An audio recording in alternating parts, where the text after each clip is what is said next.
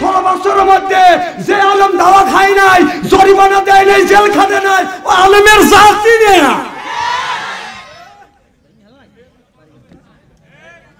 খারাপ লাগতেছে নাকি? আরে এলাকা আমার এলাকা। এটা আমার এলাকা, আমার থানা, আমার গ্রাম। ষোলোটা বছর ওয়াজ করতে পারি নেই। বাইক ঠিক মতো সুখের বাড়ি নেই। বইয়ের হক আদায় করতে পারি নেই। ছেলে মেয়েদের হক আদায় করতে পারি নেই। তোদের কারণে। আজকে তোরা কোথায়? আজকে।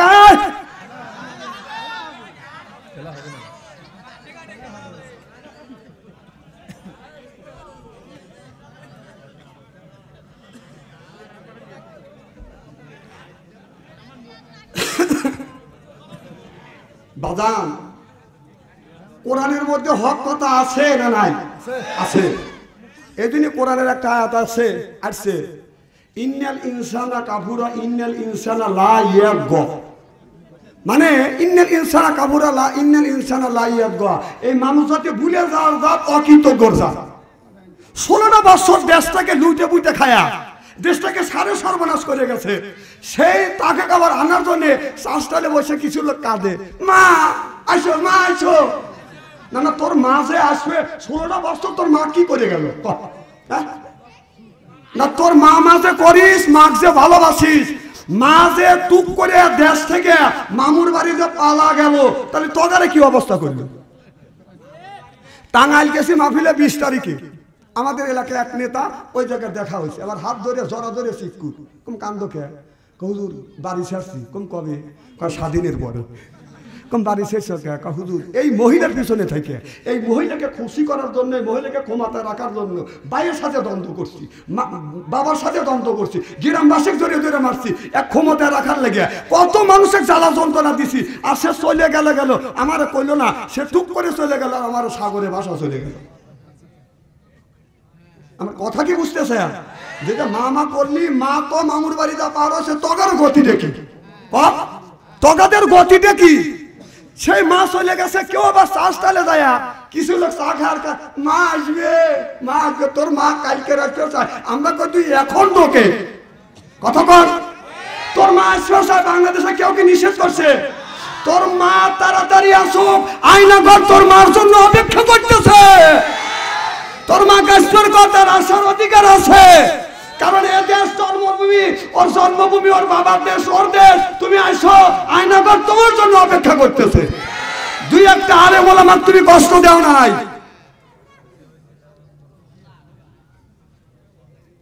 এদিক খুব খারাপ লাগতেছে নাকি? যারা গুছু মুছু করবে, ওরা আমেরিকার লোক। এখনও রয়েছে ঠ্যাং বহুদিন কাটবে হ্যান ঠ্যাং ভাঙিয়ে দেবো। কোরআনের কত হক কথা বলতে পারি কে?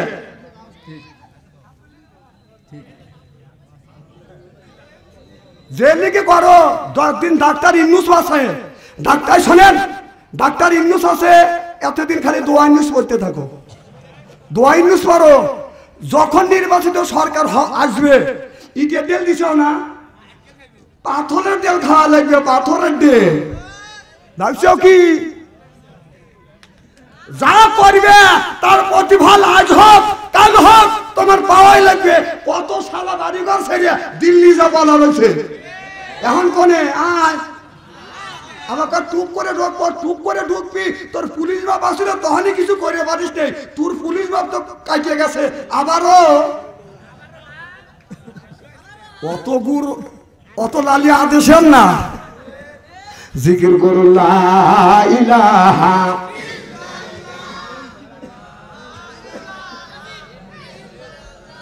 জিকির করুন লা ইলাহা লা ইলাহা ইল্লাল্লাহু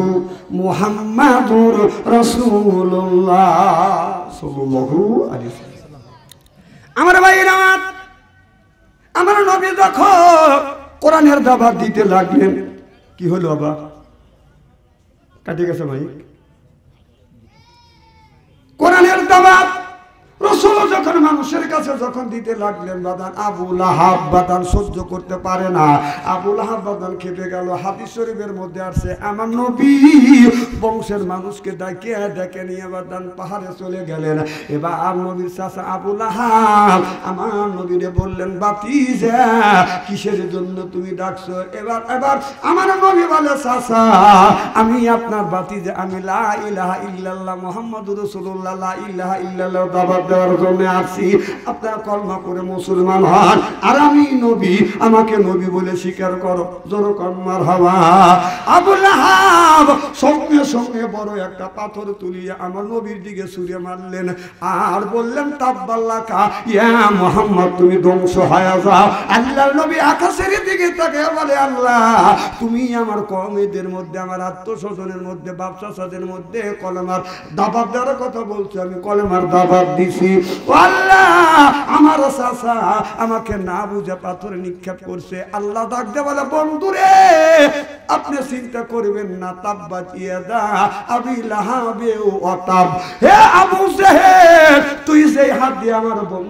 তুই পাথর মারছিস, সর্বপ্রথম আমি আল্লাহ তোর হাত দুইটা আগে ধ্বংস করব। সিল্লে এখন মার হাওয়া কারণ ডেল দিল একটা, ডান হাত ডেল দিছে। এক হাত ধ্বংস করবার কথা। আল্লাহ কেন দুই হাতের কথা বলল? দুইটা হাত আগে ধ্বংস করব। সুবহান আল্লাহ বললেন না।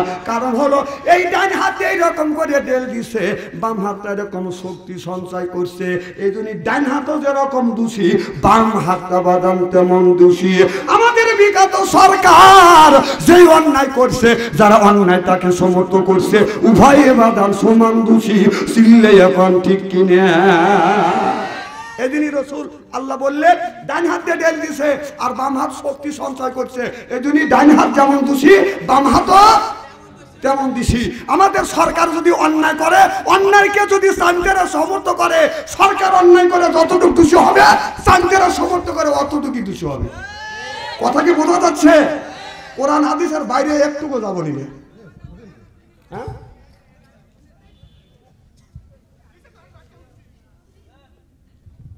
খুব খারাপ লাগতেছে। ভাই, ওই যে এখান থেকে পাড়ার বসার কিন্তু ব্যবস্থা করে দেন। সাল বাল তো আসবে এখন। জানি তো বাচ্চা ছেড়ে উঠছি। ষোলো বছর ওয়াজ করতে পারি এই এলাকায়। দুঃখ ধর জায়গা নাই। মার হমাকে জোর কর। নারে তাকবীর। ষোলো বছরের ওয়াজ আজকে দু তিন ঘণ্টা করে দেবো। রাজি আছেন তো ইনশাল্লাহ না ভাই তাকবীর। এই আল কোরআনের আলো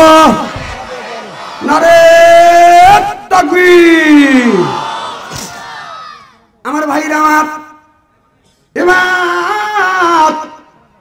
আবুল আহাব যখন আল্লাহ বললেন আবুল আহাবের বিবি উত্তবাদান আল্লাহ নবীকে কম জ্বালা যন্ত্রণা করে নাই? আল্লাহ নবী, আপনার কাবা ঘরে চত্বরে বসে বসে নবী আমার কোরআন তেলাওয়াত করতেছে।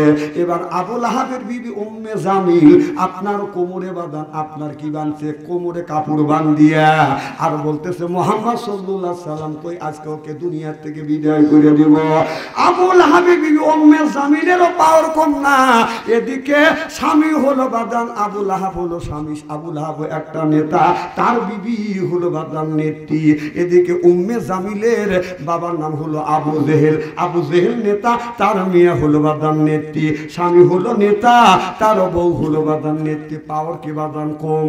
কথা বুঝতেছেন না। দুই দিকে পাওয়ার, এদিকে বাবা, বড় নেতা, স্বামী আবুল আহাব বড় নেতা, তার বিবির নাম হলো উম্মে জামিল। উম্মে আবুল জেহেলের মেয়ের নাম হলো বাদান এটা হলো আবু জেহেলের মেয়ে। আবুল আহাবের সাথে বিয়ে দিছে তাহলে দুইটা নেতার মিয়া, তিনি দুই পক্ষের থেকে বাদান নেত্রী হয়েছে। কথা বুঝতেছেন না পাওয়ার তো অনেক আছে। অনেক পাওয়ার আছে। এই পাওয়ার নিয়ে বাদান আপনার। আমার নবীকে মারার জন্য গেছে কোমরে কাপড় বান্ধিয়া। কই মোহাম্মদ, আজকে তোর রক্ষা নাই তোকে আজকে দুনিয়ার থেকে বিদায় করে দিব। এমন সময় হরদত আবু বকর সিদ্দিক বলে, ইয়া রাসূলুল্লাহ ইয়া হাবিবাল্লাহ ও যে আবুল আহাবের স্ত্রী, উম্মে জামিল আসতেছে আপনাকে মারবার জন্য। নবী গো, আপনি পালিয়ে যান। আল্লাহ নবী বলে, না না, আমার আল্লাহ আমাকে রক্ষা করবে। জোর কম সুবহানাল্লাহ। আমার নবী কোরআন তিলাওয়াত করে, শুধু কোরআন পড়তেছে আর বলতেছে, ইয়াসিন ওয়াল কোরআনিল হাকিম ইন্নাকা লামিনাল মুরসালিন ইয়া মানে হে সিন মানে সাইদ বাংলা অর্থ হলো নেতা। হে নেতা ওয়াল কোরআনিল হাকি আল্লাহ বলে বিজ্ঞানময় কোরআনের কসম খা বলতেছে, আল্লাহ বলতে, ইয়া মানে হে সিন মানে সাইয়েদ, বাংলা অর্থ হলো নেতা। এখানে আলেম ওলামা আছে, একটু জিজ্ঞাসা করে দেখুন। আল্লাহ বলতেছে, হে নেতা, ওয়াল কোরআনিল হাকিম। আল্লাহ বলতেছে বিজ্ঞানময় কোরআনের কসম খায়া বলতেছি ইন্না কালামিনাল মুরসালি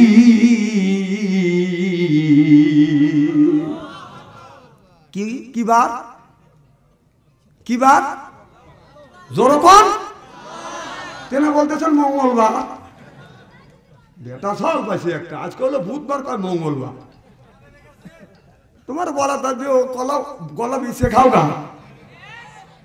আমার ভাইরা আমার, এই কোরআনের মধ্যে পাঁচটা জিনিস পাইছি, সুরাই ইয়াসিনের মধ্যে।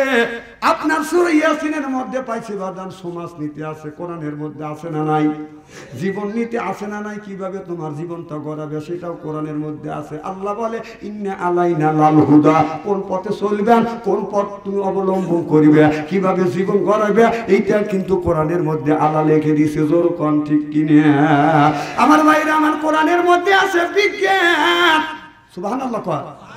হাদিস শরীফের মধ্যে আছে আল্লাহর নবীর সামনে, এক আল্লাহর নবী আল্লাহ নবীর সামনে, অথবা আল্লাহর নবী বাদার হাসি দিছে, যখন হাসি দিছে আল্লাহ নবী বলেছে, আলহামদুলিল্লাহ। আর সাহাবীদের বলল, সাহাবীরা রে, যারা তোমরা শুনছো, হাসিতে শুনছো, তোমরা বলবে ইয়ার হামুক আল্লাহ। আল্লাহর নবীকে জিজ্ঞাসা করেন, ইয়া রাসূলুল্লাহ, ইয়া হাবিব আল্লাহ একজন যদি হাসি দেয়, আমরা কেন আলহামদুলিল্লাহ বলব? আমার নবী বললেন, সাহাবীরা, আমি যা জানি আল্লাহ আমার জানা তুমি তা জানো না। কারণ একটা হাসিতে, একটা হাসি দিলে শত শত যার জীবন ভিতরে থেকে বাদান বের হয়ে যায়। এই জন্যে আল্লাহর প্রশংসাই করবে, আলহামদুলিল্লাহ। আর যারা পাশে শুনবে, তারা বলবে ইয়ার হামুক আল্লাহ। সুবাহ আল্লাহ বললেন না। এই কথাটা চোদ্দশো পঞ্চাশ বছর পরে আসিয়া বিজ্ঞানীরা বাদান গবেষণা করলেন রিসার্চ করলেন, গবেষণা করিয়া দেখেন চোদ্দশো পঞ্চাশ বছর আগে আমার বিশ্বনবী বলেছে, আপনার একটা হাসিতে শত শত যার জীবন ভিতর থেকে বের হয়। এখন বিজ্ঞানীরা আমারও নবীর কথাকে সমর্থ করিয়ে দুনিয়ার মানুষেরকে জানিয়ে দিয়েছে, একটাবার হাসি করলে আপনার আপনার ওই হাসির, আপনার হাসির ভিতরে যেই আপনার যার জীবন আছে, এইটা ডাক্তার দিয়ে, ওষুধ দিয়ে চিকিৎসা করলে বিয়াল্লিশ হাজার টাকা লাগবে। আর একটা হাসিতে বিয়াল্লিশ হাজার টাকার কাজ হয়। রসুল বিজ্ঞানের বিজ্ঞান, কোরআনটাই হলো বিজ্ঞান। আল্লাহ খুব খারাপ লাগতেছে নাকি?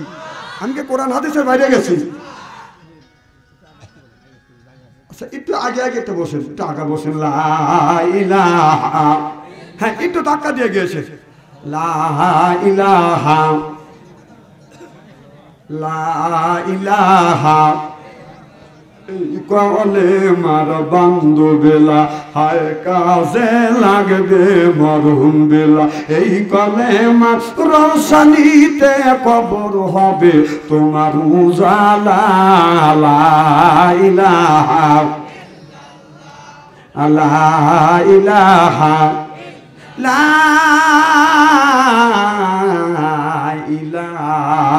ইল্লাল্লাহু মুহাম্মাদুর রাসূলুল্লাহ সাল্লাল্লাহু আলাইহি মানিক ভাই আসান আচ্ছা।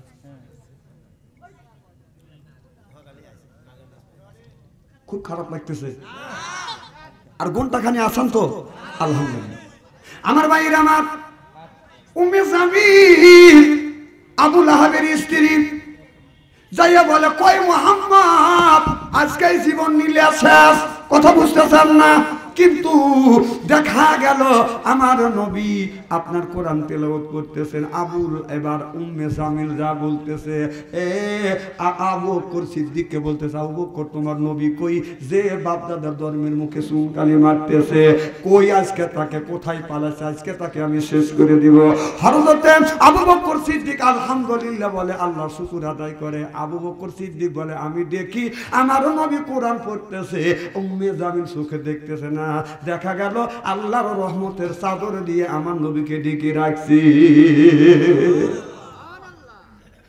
আমার ভাইরা আমার মারার জন্য চেষ্টা করছে, কিন্তু একটা হাদিস শরীফের মধ্যে দেখছি, আমার নবী কাবার চত্বরে রাত্রির বেলা বাদান কোরআন তেলাওয়াত করতেছে। আপনার আবুল আহাব রাস্তা দিয়ে বাদান আসতেছে, গভীর রজনীতে, কিন্তু কোরআন তেলাওয়াতাও এত সুন্দরভাবে বেশি আসছে। আবুল আহাব মনে চিন্তা করল, এত সুন্দর আওয়াজ থেকে বেশি এসে? আস্তে আস্তে আগাজা দেখে আমার নবী যে ঘরে বসে কোরআন তেলাওয়াত করতেছে। আবুল আহাব উকি মারে দেখে, আমার প্রাতিজ মোহাম্মদ সাল্লাল্লাহু সাল্লাম কোরআন তেলাওয়াত করতেছে। আবুল আহাব মুগ্ধ হয়ে গেছে। আল্লাহ, আমার বাতিজ জবান থেকে কোরআনের আওয়াজ এত শ্রুতি মধুর লাগতেছে যে আল্লাহ যে নবীর উপরে কোরআন নাজেল করছে, আর সেই ব্যক্তি যদি কোরআন তেলাওত করে, তাহলে কোরআনের আওয়াজটা কত সুন্দর হতে পারে, কত মজা হতে পারে। সিল্লে কান্নার হাওয়া আবুল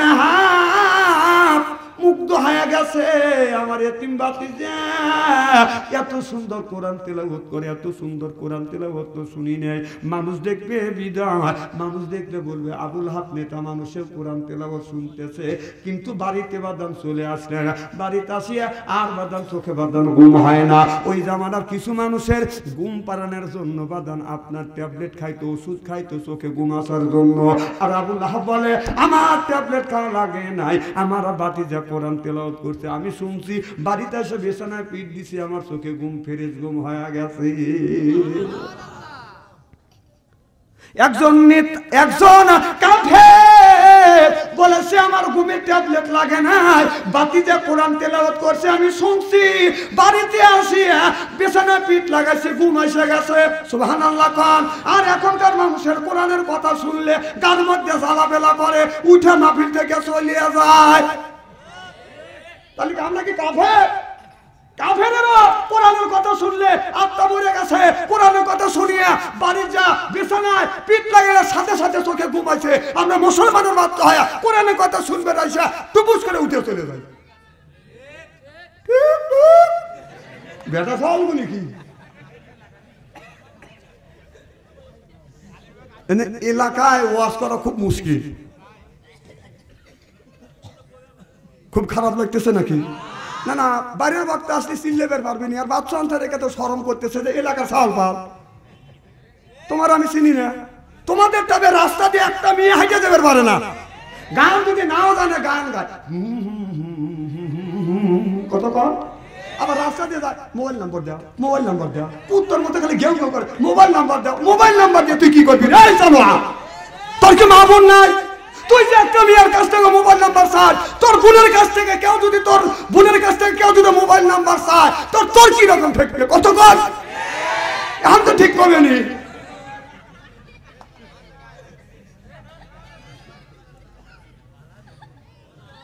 তাহলে ওয়াজ করব তো ইনশাল্লাহ নারে থাকবি আমার ভাইয়ের আমার এবার আবুল আহাব রাত্রির বেলা গোপনে গোপনে ঘরের মধ্যে থেকে বের হয়ে বউ যখন ঘুম আসে, ঘরের মধ্যে থেকে বের হইয়া আমার নবীর কণ্ঠে বাদান কোরআন পেলাও শোনার জন্য যায় দৈনিক। সুবহানাল্লাহ, একটু জোরে কর। হঠাৎ করে একদিন উম্মে জামিল বাদান ঘুম ভেঙে গেছে। জেগে দেখে স্বামী নাই। কই গেল আমার স্বামী তো বিছানাই নাই। টয়লেটে গেছে, টয়লেটে যাও খোঁজে বাদান পায় না। বাড়ির চতুর্দিকে ঘুরতে বাদান পায় না না পায়া মনটা খারাপ করে বারান্দায় ঘরে দরজায় বসে আছে। আমি জানি, আমার স্বামী নেতা হলে কি হবে লুচ্চ আছে? এই যে দেশের যতগুলি নেতা আছে, ওবায়দুল কাদর সহ, ব্যাপক সাদা লুচ্চ লুচ্চ। কথা বল আবার খালি কইছে যাইছো, খেলা হবে। খেলা হবে। খেলা খেলবে যাচ্ছে বাঙালি যখন খেলার জন্য রেডি হয়ে গেছে, উনি খেলা বাদ দিতে পলা গেছে। মাথা ব্যথা নাই। দেশটা হাতে উলিয়া বানাইছে সাবেক প্রধানমন্ত্রী দেখটা দেশটা হাতে উলিয়া বানাইছে সাবেক প্রধানমন্ত্রী কি? হক কথার সায়না দিলে আল্লাহর আদালতে আসামি হবে। ওই যে সোনার দেশটা, শ্মশান করল লুইটা পুইটা খাইয়া দে। প্রধানমন্ত্রী দেশটা দেউলিয়া বা নাইসে সাবেক প্রধানমন্ত্রী কোথায় রইলেন কামরুল ইসলাম? কোথায় কাদের কাকা? কই গেল সে? ওই মহিলার স্যাটাং স্যাটাং কথা কথা কয় না। কোথায় রলেন কামরুল ইসলাম? কোথায় কাদের কাকা?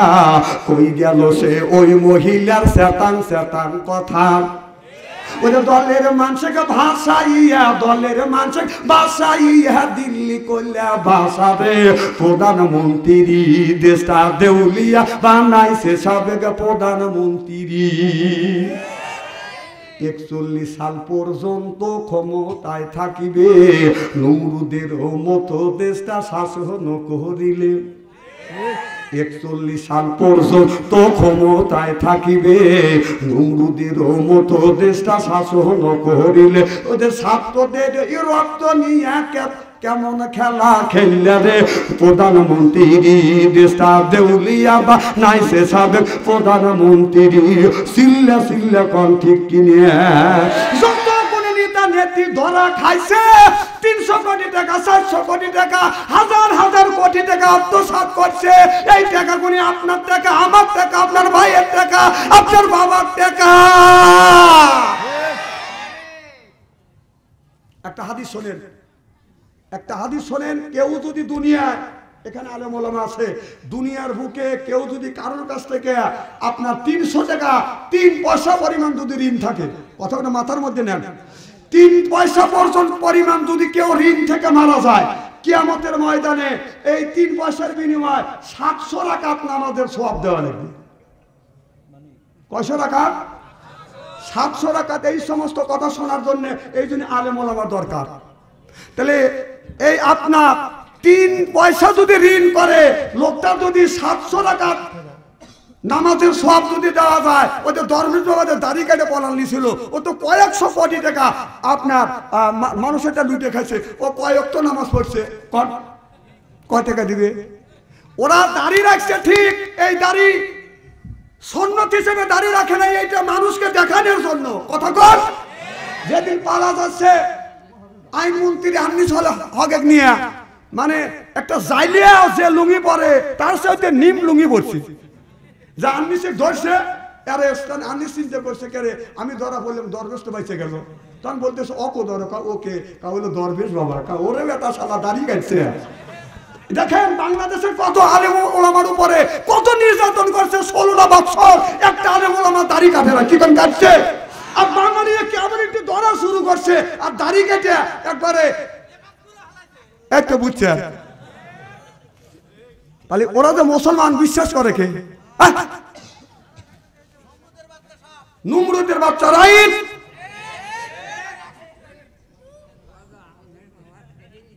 খুব খারাপ লাগতেছে নাকি?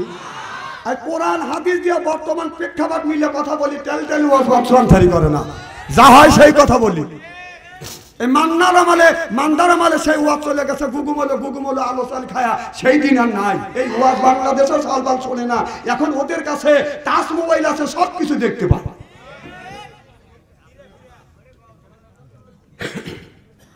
আমার ভাইয়ের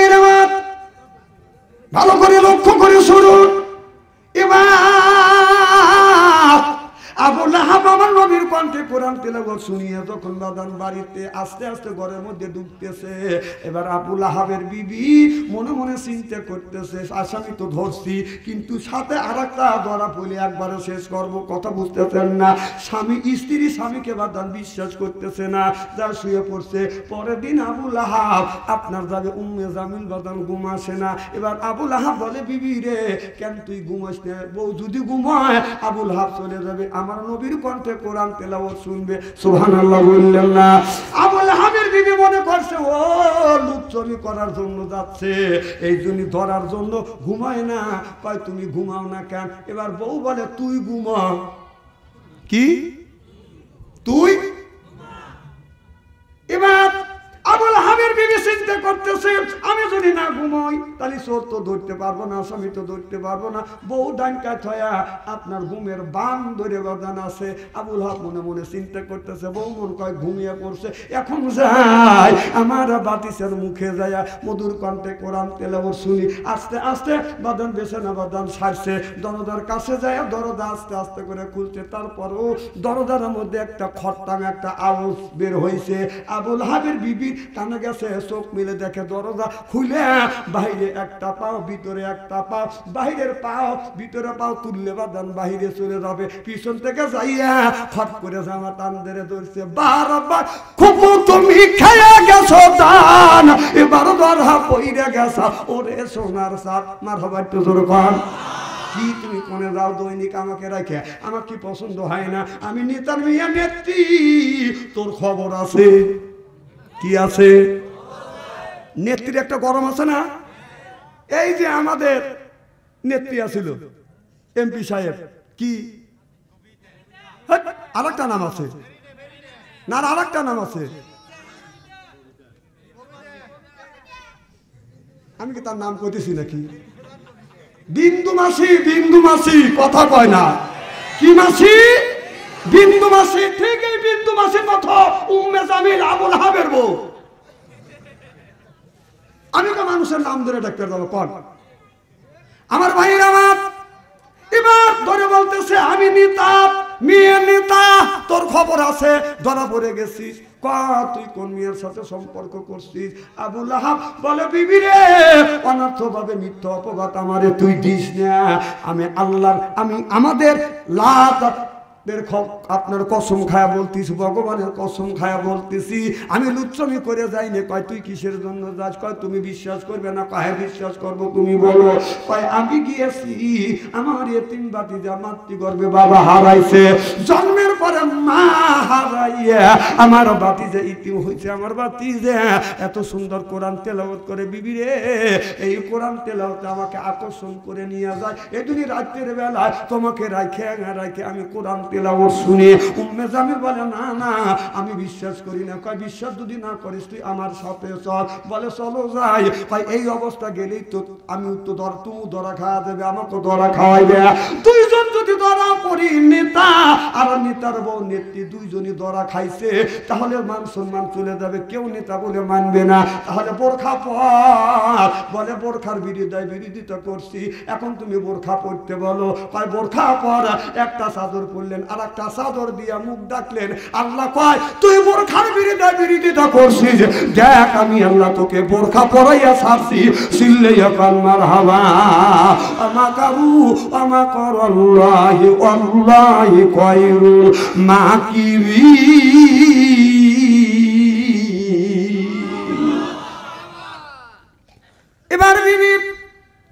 একটা চাদর পরছে আর চাদর গায়ে দিছে আর একটা চাদর গায়ে দিয়ে আর একটা চাদর গায়ে দিয়ে বাদান আপনার চলে গেছে। আমার নবী কোরআন তেলাওয়াত বাদান শুরু করে দিছে। এবার আবুল আহাব আবুল আহাবের বিবি শুনতেছে। আবুল আহাবের বিবি বলে, স্বামী রে, তোমার বাতিজা মোহাম্মদ এত সুন্দর করে কোরআন তেলাওয়াত করে, আমার কলি দিয়ে ঠান্ডা হয়ে গেছে। এবার দুইজন দীর্ঘ সময় দাঁড়িয়ে দাঁড়িয়ে আমার মধুর কণ্ঠে কোরআন তেলাওয়াত শুনছে। এদিকে কিছু কিছু মানুষ বাদান লয় লয় করে আসতেছে। কেউ কোরআন তেলাওয়াত শোনার জন্য আসতেছে, কথা বুঝতেছেন না। হাদিস শরীফের মধ্যে আছে, নবী কোরআন পড়ছে, মানুষ চতুর্দিকে দাঁড়াইয়া দাঁড়াইয়া নবীর কণ্ঠে কোরআন তেলাওয়াত শুনছে। সুবহানাল্লাহ বললেন না আবুল বলে, বিবি রে, তলা খায়া যাব। আয়, বিবি আসতে চায় না, কয়, না, আমি যাব না। জ্যাংটা টান দিছে, নিচের চাদর খুলে গেছে। সুবহানাল্লাহ বললেন না, আল্লাহ ধরা খাওয়াবে। এবার দুইজন বাড়ি চলে আসে। কিছুক্ষণ পর আপনার আর একজন কাফের চলে গেছে ওদবা আপনার দেখে একটা চাদর করে রয়েছে। তাহলে আমার আগে কেউ আছে এই চাদরটা কার? এই চাদরটা আপনার আবুল আহাবের বিবি উম্মে জামিলের। তাহলে আমাকে রাখিয়া গোপনে গোপনে ওরা কে কোরআন তেলাম শোনে? করে বাস করিয়া আপনার বগুলের নিচে আনিয়া যাইয়া বলে নেতা সাহেব, তুমি আর তোমার বউ, তুমি তো কোরআন তেলাও সুন্দর জন্য গেছিলে, তোমরাই তো আইন পাস করছ। যারা মুহাম্মাদের কণ্ঠে কোরআন তেলাও শুনবে, দশ হাজার টাকা জরিপানা দশ বছরের জেল। আপনারা নেতারা আইন পাস করলেন, আপনারাই ঘোষণা দিলেন। আর আপনারাই কোন জ্ঞানে, কোন বিবেকে যাইয়া মোহাম্মদের কণ্ঠে থেকে কোরআন তেলাও শোনো? আবুল হাম্বল যাই না কয়, তুমি গিয়েছো কাজ তোর প্রমাণ? কি কয় যে তোমার বোর সাদর? মার হবাই তো বললেন না। আবুল আহাব দৌড়া। যাইয়া বিবির কাছে যা বলে, বিবি রে